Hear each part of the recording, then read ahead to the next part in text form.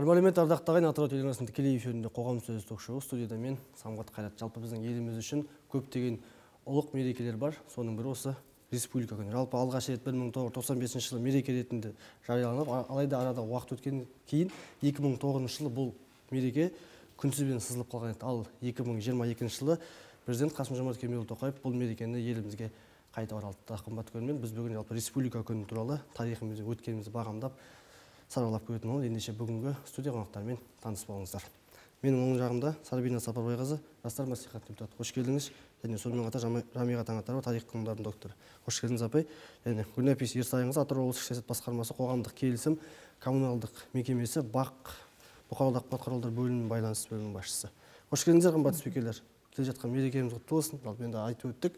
Ұлық мерекеміздің бірі осы мемлекет егемендігімізді қабылдаған күннің бірі деп айтып жатырмыз ғой. Жалпы енді жамиға ханым өзіңізден бастайықшы осы азат бүгінгі тақырыбымыз азаттықтың ақ жылдай құжаты. Жалпы енді осы құжаттың ел егемендігін айқындаудағы әсері қалай болды? Осы жөнінде өзіңіз тарихтан сыр шертсеңіз. Қайырлы кеш құрметті көрермендер. Иә ел тарихында ұмытылмайтын күндер оқиғалар бар. Сондай маңызды қазақ халқының тарихы үшін де тағдыры үшін де өте маңызды тарихи күн. Ол 1990 жылғы 25 қазан күні. Бұл күні қазақ сср жоғарғы кеңесінің 12 шақырылымында болған сессиясында ол кезеңде қазақ социалистік кеңестік республикасының мемлекеттік егемендігі жөнінде декларация қабылданған болатын. Бұл құжаттың сол, сол кезеңде әлсіресе де жаңағы суверенитеттер парады жүріп жатқан кез болса да одақ үшін.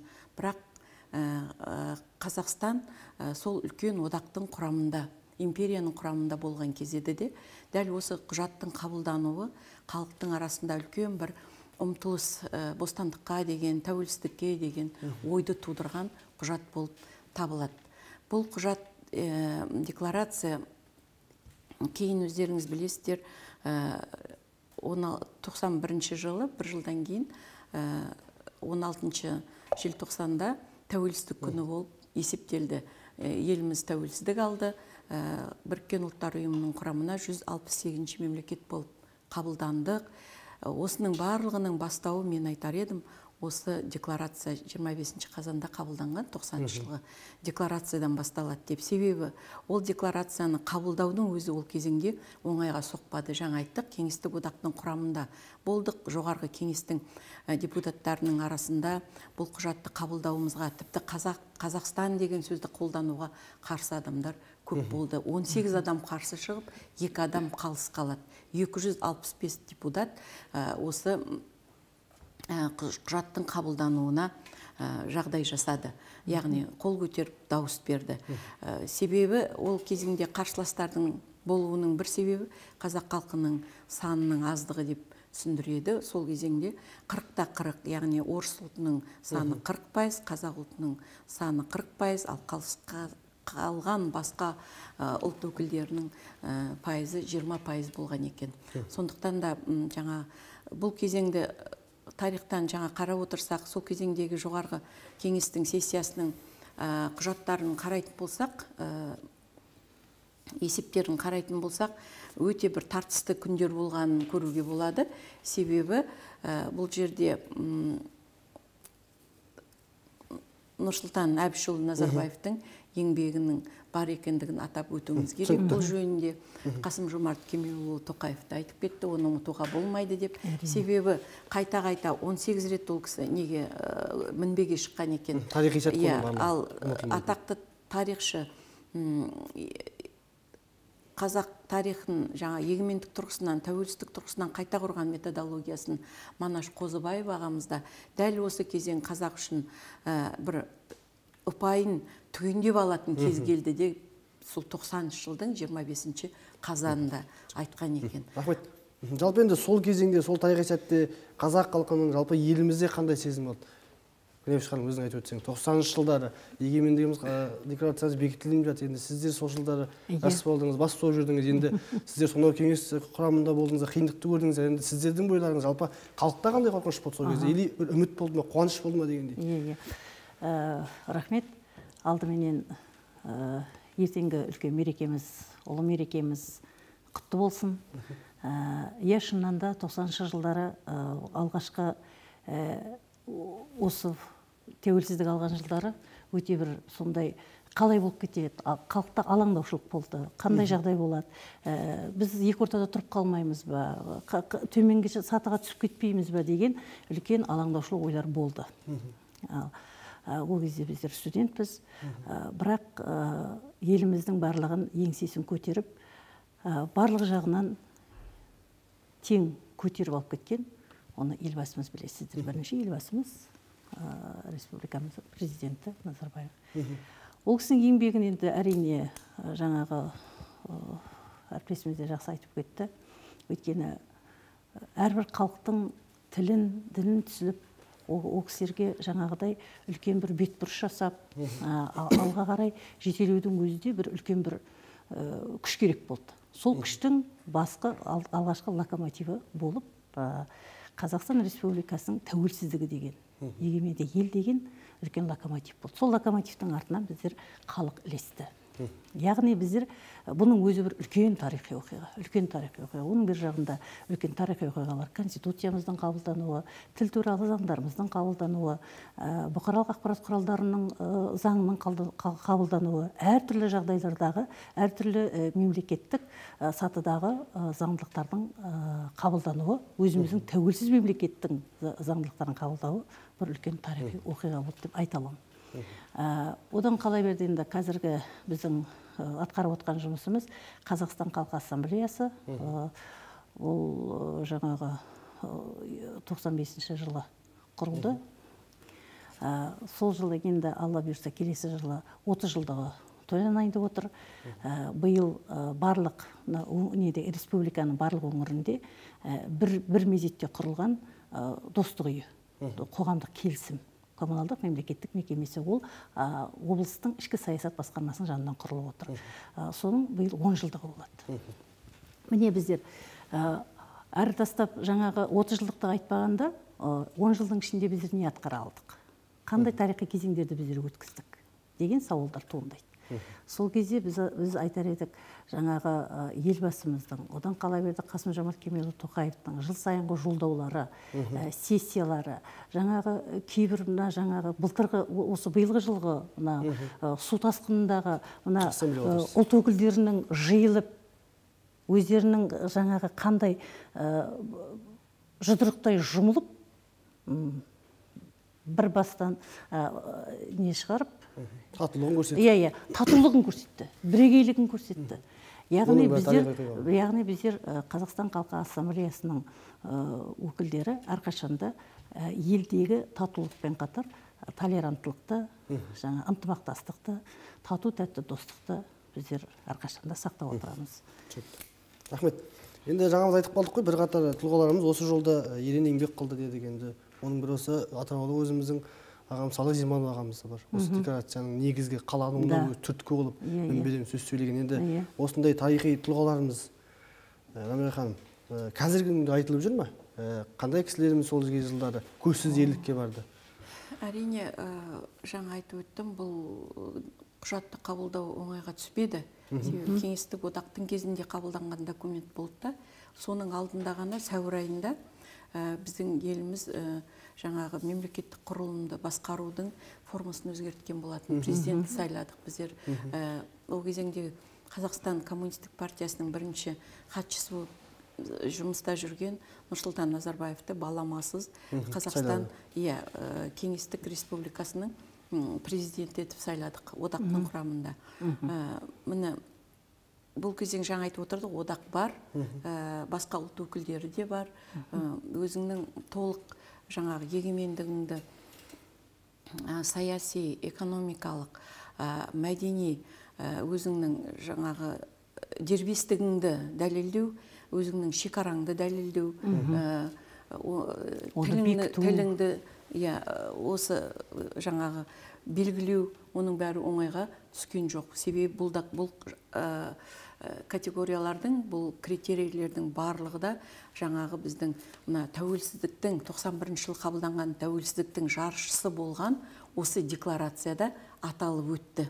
Ә, қазіргі біздің мына территориялық ә, шекараларымыз оның айқындалуы сол күйінде қалсын деген жаңа кеңестер одағының құрамында.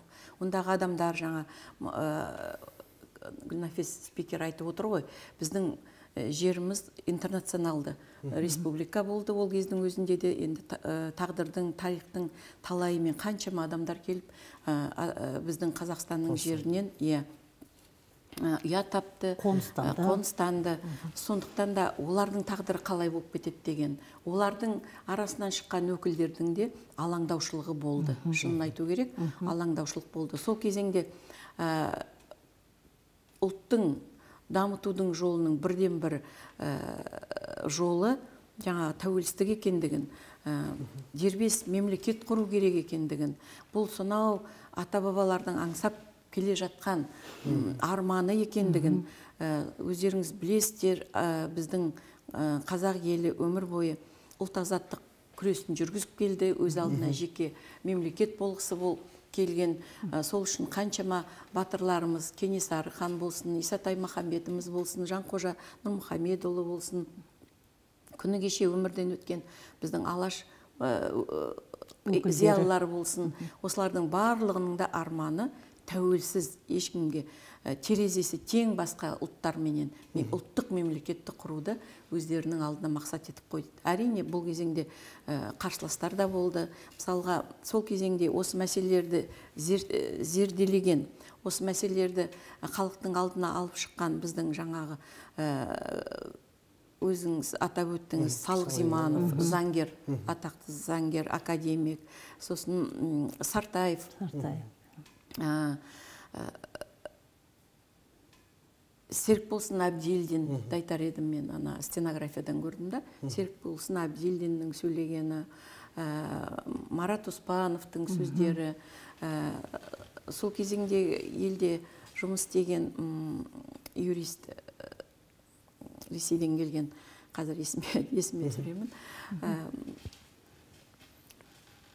Сондай кісілердің нұрсұлтан әбішұлының өзі ә, сол кезеңде осы құжаттың қабылдануына көп ә, еңбек сіңірді. Ә, иә. сондықтан да бұл кісілер туралы тарих ұмытуға болмайды деймін жас ұрпақ ұмытпау керек. Себебі жаңа айтып отырмын ғой қазіргі біздің 30 жылдан аса тәуелсіз болып дербес ә, заманауи қазіргі мемлекетті құруымыздың негізгі жаршысы негізгі бастауы болған осы декларация.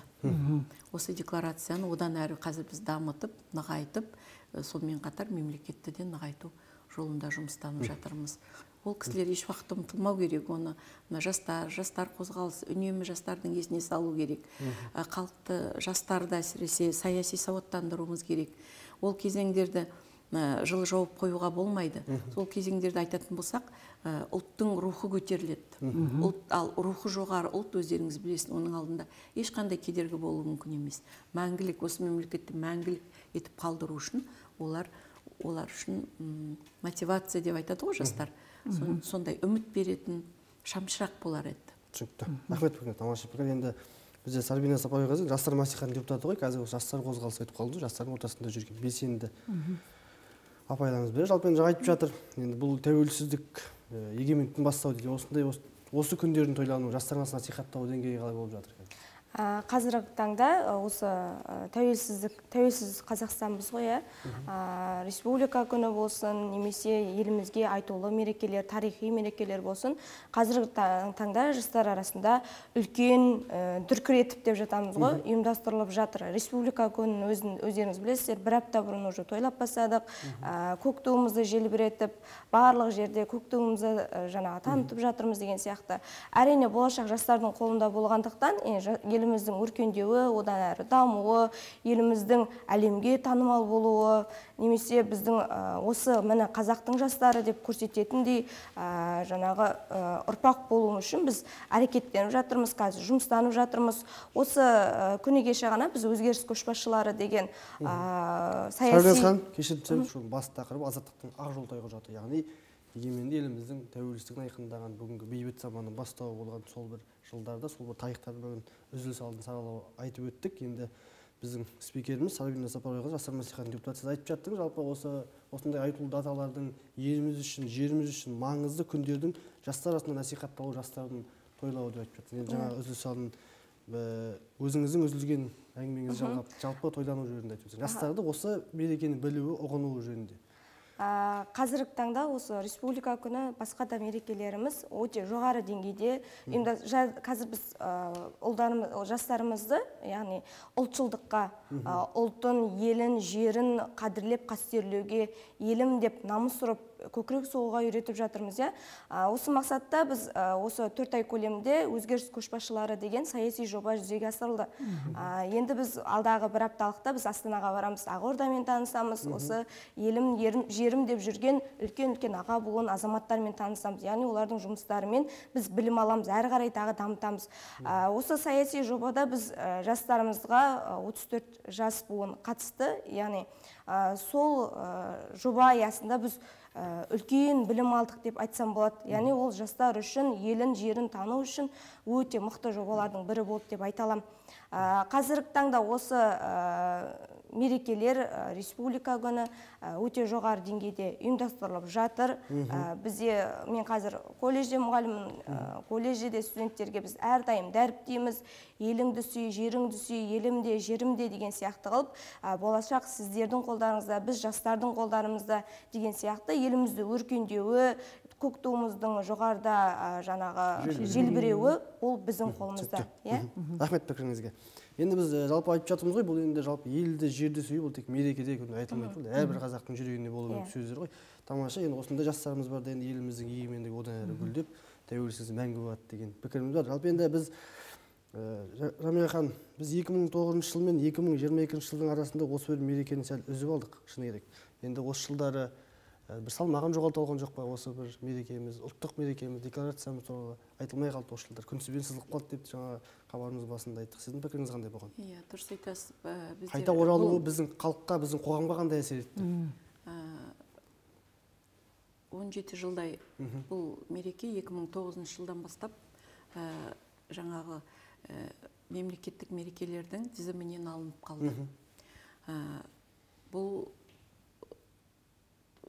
қайтадан жаңа қазақстан мемлекетінің басшылығының өзгеруі қасым жомарт кемелұлы тоқаевтай азаматтың елін басқаруға келуіменен 22 жылы өздеріңіз білесіздер ұлытауда өткен құрылтайда осы мерекені қайтадан жандандыру халықтың арасында насихаттау оның мән мағынасын түсіндіру сол бағытта атап өту жөнінде ә, шешім қабылдаған болатын бастау.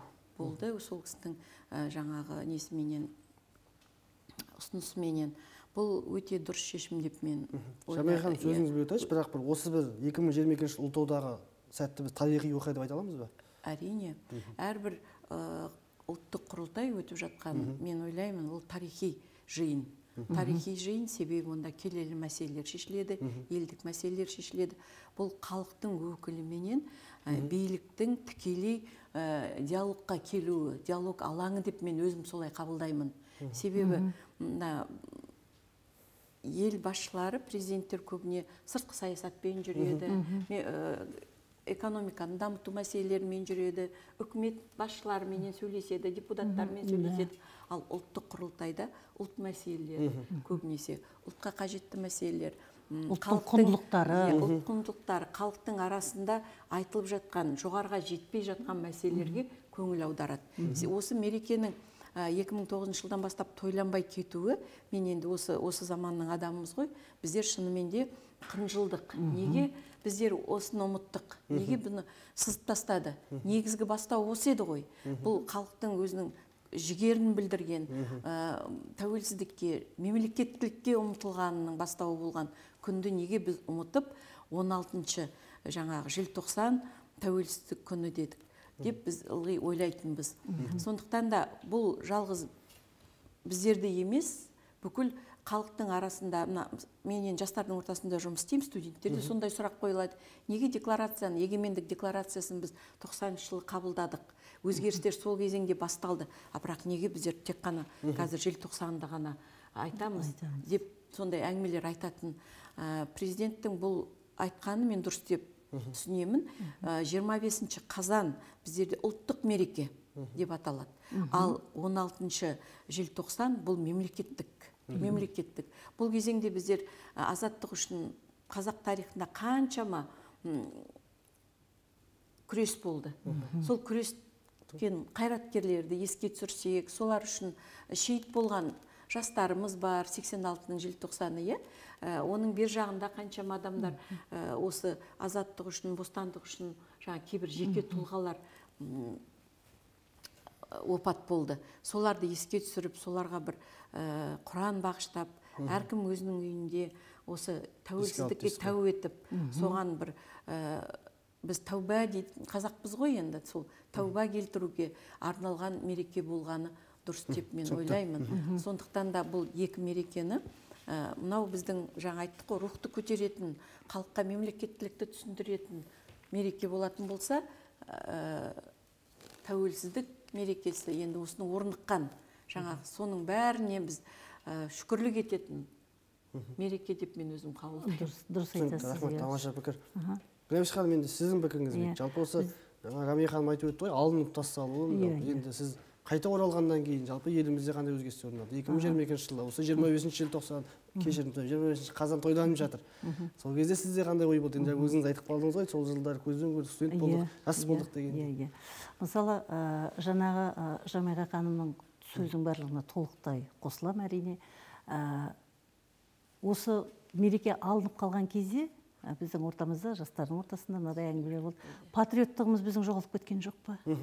Біз патриоттық неден сезімнен арылып қалған жоқпыз ба? Біз қазақ өзіміздің мемлекетімізді сүйе алмай қалған жоқпыз ба деген біздерде Пікір пайда ат үсті пікірлер болды. Бірақ артынан мына жиырма екінші жылы келгенде кәдімгідей қуандық. Қуандық. Өйткені ол өйткені халықтың өзінің мына қазақ халқының дербестігі қазақ халқының менің мемлекетім деген өзінің ұраны менің мемлекетіме деген сүйіспеншілігінің патриоттық сезімі. Осы пайда болды дейсіз осы пайда болды. Содан бері халықтың арасында жаңағы әдемі әңгімелер жүре бастады. Қаңқу сөздер азая бастады. Әртүрлі мына жаңағы мына тойлану деп жатырмық қой жаңағы. Тойланудың жаңа форматтары пайда бола бастады мінекей. Жаңағы мысалы біздерде мына өзге ұлт өкілдері жаңағы видеороликтер жасауда ә, біздер үрдіске айналдырды құттықтаулар. Одан қала бер челлендж жаңағы бізде жаңағы бір ұлттың өкілі жаңағы қазақтың елін жаңа бәрін түгел айтады да келесі ұлтқа жібереді одан ауданға жібереді ауданнан бері қарай осының барлығы бір үлкен бір біздің осы мына ә, ә, біздің ұлттық республика күнінің бір жақсы айшықты нышаны деп ойлаймын. Біріншіден. Сосын екіншіден жаңа жастар ассамблеясы бар біздерде. Жастар да өте жақсы қызмет атқарып жатыр.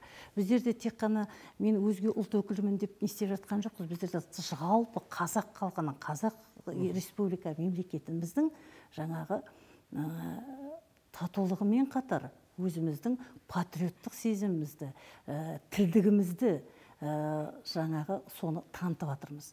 Мысалы биылғы жылы мемлекет басшысы қасым жомарт кемелұлы тоқаевтың мемлекеттік тіл этнос аралық қатынас тілі деп жариялануы өте жақсы үрдіс деп ойлаймын. Өйткені қазір біздің қазақ тілінде жаңағы курстар ашылып жатыр. Қазақ тілінде жаңа өзге ұлттың ортасында біздің ұлттық дәстүрлерімізді дамытатын домбыра үйірмелері бар әртүрлі үйірме этно әлем деген ашылды мысалы үшін. Соның барлығы ашылып жатырған нәрселер өте көп. Осының барлығын жаңағы біздің өзге ұлт өкілдерінің қабылдап соны ары қарай дамытып қазақтану жобасына енгізудің өзі бір үлкен бір айшықты нышан түсінікті рахмет ханым енді сіз айтқан жаңағыдай мемлекет басшысы бастаған әрбір бастаманың артында сол елге тиетін пайда еліміздің абыройын көтеретін жаңа айттық тәуелсіздігімізді айқындайтын бір ғой. Себебі- елім менің деген бір сүйіспеншілік пайда болды. Бұған дейін біз мысалы қазақ тілі бір кейбір мәселелер болды. Енді осы қоғамға әлі күнге дейін мысалы қазақ тілін сыйлау құрметтеу деген секілді. Енді осы тұста жаңа гүлнәпиш ханым өзіңіз айтып өттіңіз ғой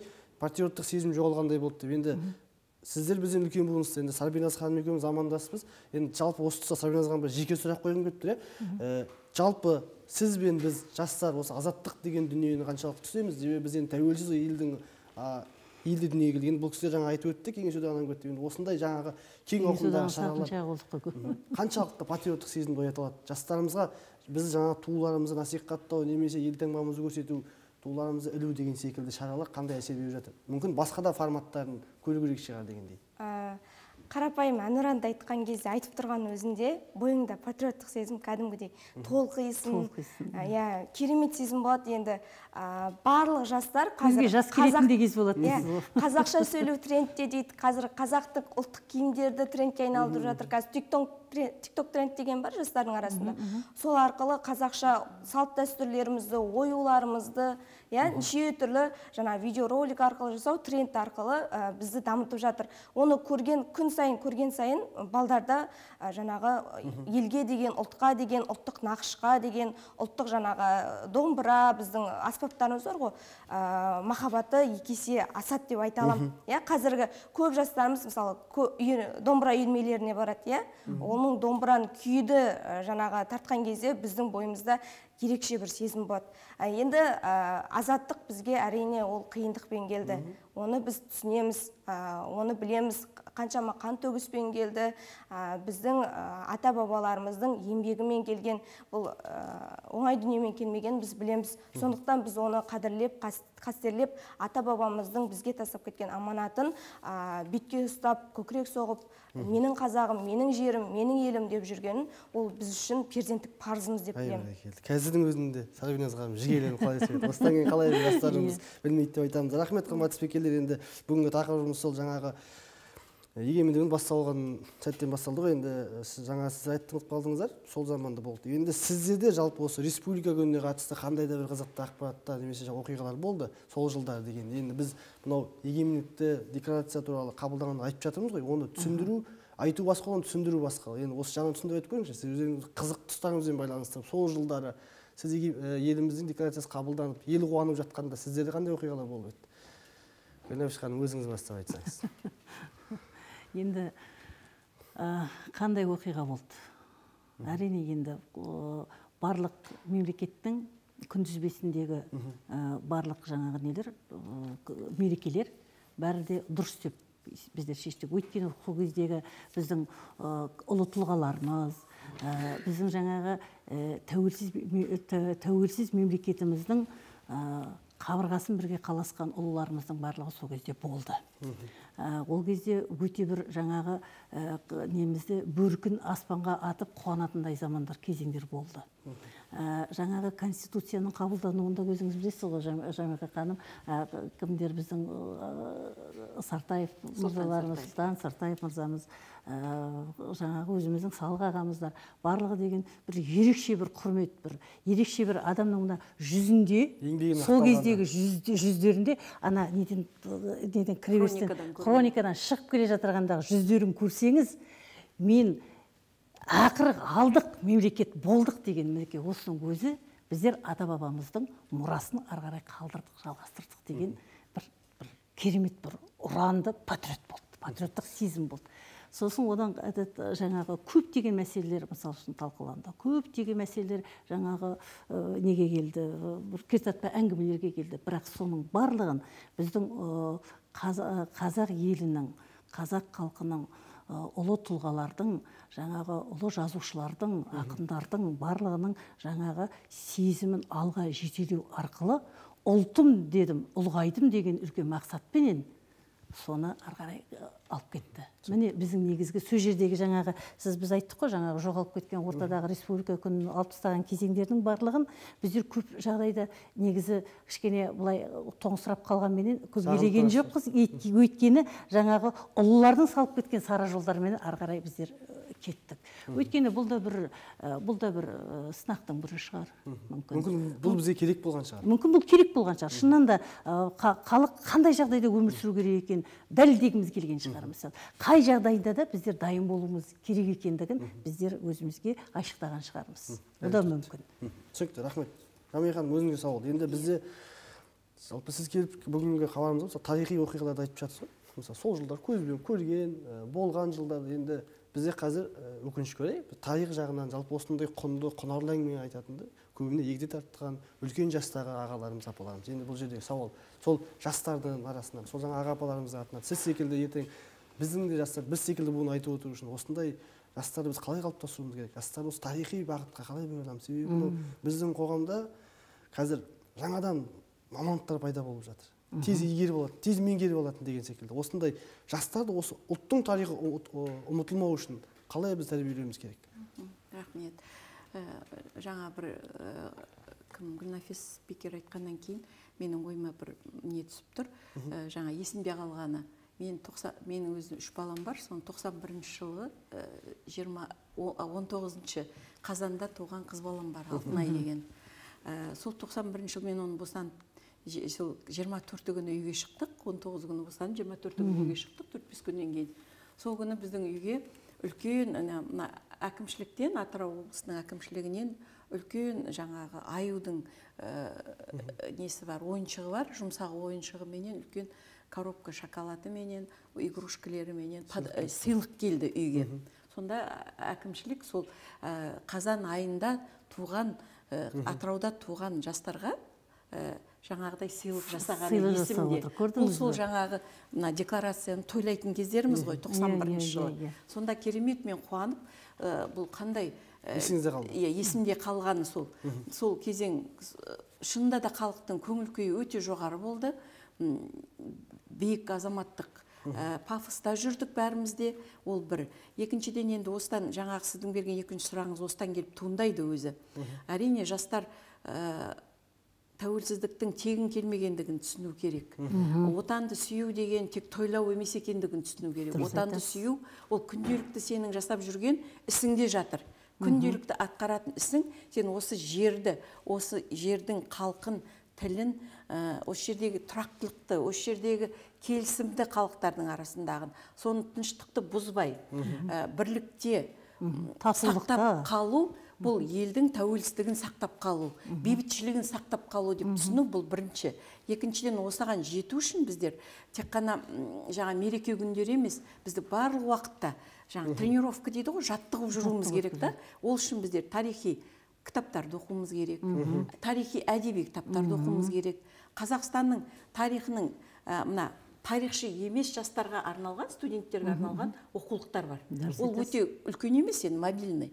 Мына мысалға иә Ықшамдалған, техникалық мамандықтардың да студенттер оқиды физика математика Барлық мамандар оқиды, вот сол мамандықта оқитын жаңа тарихты соның курстары өтсе. Ә, тек қана мына біз енді организованный молодежь деп жатамыз ғой ұйымдасқан колледжде оқитын университетте оқитын институтта оқитын жастар емес. Осы оқу орындарынан тыс жүрген жастарымыз бар ұйымдаспаған жастар бар.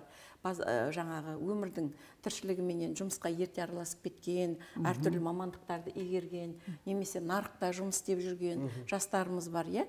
Соларға бір ә, ағарту жұмыстары жүргізілсе соларға түсіндіру жұмыстары жүргізілсе соған отан жаңағы менің жастарым деп бір ә, тегін курстар ұйымдастырылса деген сонда ғана бұл ә, үнемі жүйелі түрде жүргізілген жұмыс әрбір азаматты жас азаматты отан сүйгіш қылып тәрбиелеп шығарады деп рахмет ойлаймын. ханым. Дұрыс айтасыз иә. Пікіріңізге алғыс білдіремін жалпы енді біздің де эфиріміз өз мәресіне жақындап қалды. Енді бүгін осы бір осы ток шоу алаңында екі тараптан кездескен бір тарихи сәт болды десек артық айтқанда жаңағы сіздің айтып жатқан сөздеріңіз енді сабина ағаның көкейіне түйіп алды деп ойлаймын себебі бұл кісі жастар мәслихатының депутаты сол жастарға арналған барлық мәселені көтеріп жүріп жатыр челлендждер жүріп жатыр. енді сабина ханым сіздің айтқаныңыздың барлығын орындайды деп ойлаймыз. Қымбат көбірек спикерлер бүгінгі ақпарат алаңына келіп осындай сүбелі ой айтып ұшымды сөз айтқандарыңызға алғысымды білдіремін әрдайым осындай елдің тарихын айтып сіздер аман жүріңіздер. Сәлемез ханым сіз де осы жастарға ұйытқы болып осындай егемендік алған күнімізді тәуелсіздігімізді әрі қарай насихаттай беріңіз деген тілегім бар.